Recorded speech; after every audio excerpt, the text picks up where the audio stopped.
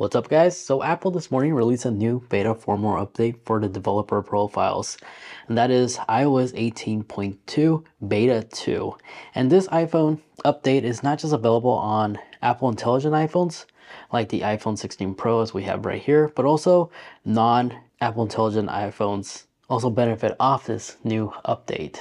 So here's all the new features that matter. Let's start off with the Find My ability. If you use Apple AirTags New this time the Find My app, when you first launch it, you'll be prompted with this new splash screen, which this allows you to actually share your AirTags with loss prevention places like TSA via a link where previously you had had access to an Apple ID to be able to share your Apple devices, locations and such. Well, now you can do it with a link. So by hitting continue, it'll take you to this page and this will allow you to basically create a custom link and you can share that link to a, again like a loss prevention place tsa where they could utilize it to help locate your missing devices. So if we go into the find my app and you select your airtag on the bottom right here where it says lost airtags there's now a new share item location and in here this is where i'll walk you through the setup procedure, you just hit continue, but since our item is close to us, it doesn't allow us to get to the next page, which all it is is a custom URL, which you could copy and paste it and send it to a text message or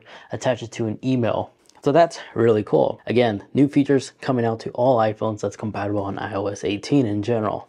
Now, next new changes can be located in the settings app. By launching the settings app, your icons on the side now support dark mode. And this also includes if you use tints. So if we go into edit and customize and we add a tint, changes something more standing out, I guess, for us for this video demonstration. You see our icons now change to the tint and it has like a white border. Now this is pretty cool and hopefully this is the hint that Apple is planning on integrating these new icon changes on Apple CarPlay because as time making this video I checked on Apple CarPlay the new icons the new dark mode where Apple icon tint is not compatible on CarPlay as of yet. I hope somebody from Apple is watching this video and make this and give us the ability to finally change that. That would be pretty cool. But as of time making this video, no, no new icons, no new dark mode or anything like that is available on CarPlay. Nor was there any new features added as well for Apple CarPlay. Now these next few settings are only available on the iPhone 16s as well as the iPhone 15 Pros that are compatible with Apple Intelligence. You see if we scroll down, let me get out of this icon real quick to make things easier on the camera to view and select dark mode. There we go. If you hop into the camera tab in your settings now, and you go into camera control, we now have an auto exposure as well as auto lock ability where you can go in and actually enable. And for the side button back here for your uh, camera control, you still have the single and double click, but now if you back out out of here and you go into the accessibility tab in here, and then scroll down, you'll see a weird title error that Apple did on their side where they just left it like this. They accidentally forgot to rename it to the format, so uh, that's pretty funny. But if you click on the new error camera button title, we now have additional speed options for a long press duration, as now we have a firm, default, and lighter for the side button press. And then on the bottom here, of course, you have the preview. But if you keep going down, you can also increase it slower, slow, or default. This is the new change, not that, sorry. The slower one is the new one, and you'll also change the speed for the other speed functions as well from here. And you could continue previewing it right here as you're adjusting it to your own personal preference. So cool tools to make that side button more user friendly.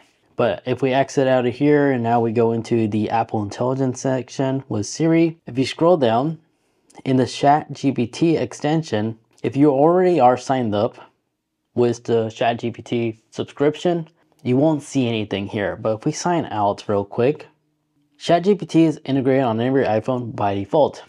But you can sign in and have all your log data synchronized with your main account if you like it to. But down here where it says daily limit, it will tell you if you're over the daily limit or if you are approaching that limit, you can always upgrade to ChatGPT Plus, and this is the new splash window giving us more information about ChatGPT 4.0 and other benefits it will actually provide for us if we decide on subscribing for $20 a month.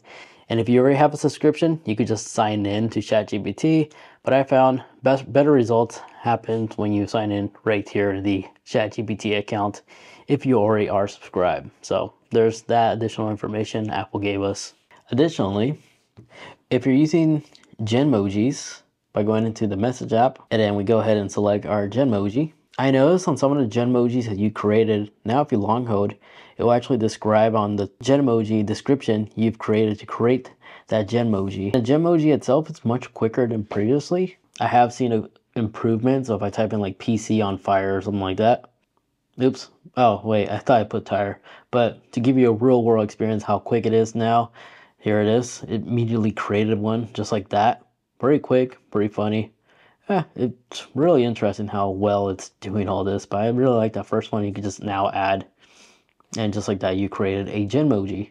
And again, you can just long hold on the icon. It'll tell you what you had to type in to create that. So if you want to tell a friend how what to type in, you could always just do that. In terms of the playground, the playground received a somewhat improvement in terms of overall graphics. Previously, it used to look a little bit childish, I guess, but now it looks like this. I don't know. I have noticed like a small decrease in improvement, but it's still weird when it comes to using your face. But if we go ahead and add something real quick, maybe I'll try to do something different and side selfie. Nah, it's not able to recognize that. Here's a face on selfie of mine. Let's do stage and make me a chef. See what it comes up with. And yeah, you could kind of see the art improvement, I guess. Additionally, in the Mail app, these icons over here has been improved for the non-iPhones with intelligence. And then in terms of the Apple Watch, the Apple Watch also received a beta update for WatchOS 11.2 Beta 2. And I do have it installed on my main device right here, my Apple Watch Ultra second generation. But for my knowledge, there really hasn't been any improvements because the Siri animation remains the same. All the app icons, aside from the Shazam app, but I believe it was already dark ever since WatchOS 11 update. I want to say receive a slight icon improvement, but nothing crazy.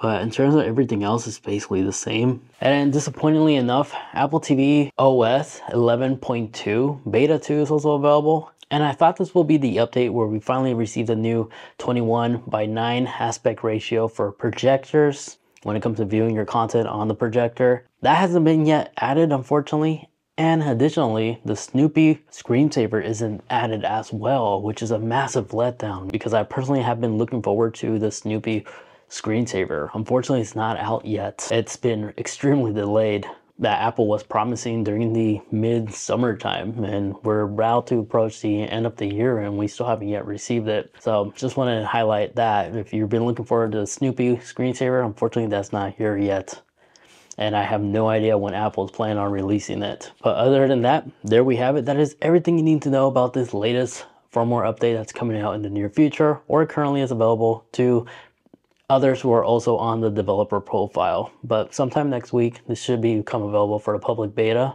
And in a couple weeks from that, hopefully under a month, this should be available for all iPhone users. My name was Eddie, and thank you so much for watching.